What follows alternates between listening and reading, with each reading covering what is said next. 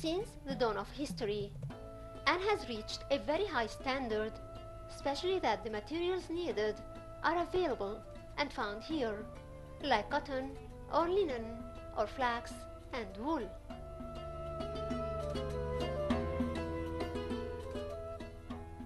The operation of weaving grand carpets or small kilims takes place on a horizontal loom which size depends on the size of the kilim itself.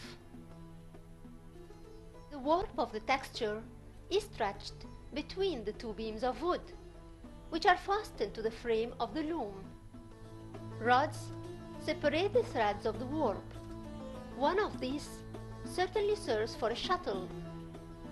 A larger rod that runs through loops along the side beams of the frame appears to serve to fix the used thread. The manufacturer uses a cutter.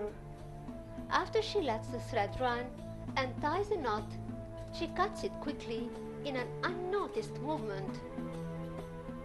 It takes years of learning and practice since childhood to be able to master such difficult yet artistic handcraft.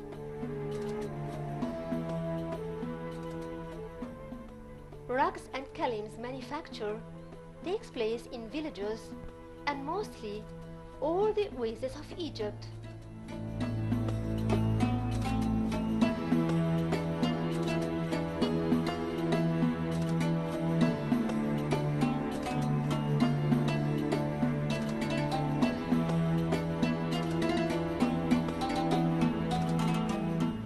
The traditions that push the women into homely skills like weaving and the quiet patient nature of the locals made them excel in such artistic handcraft which attracts both Egyptians and tourists.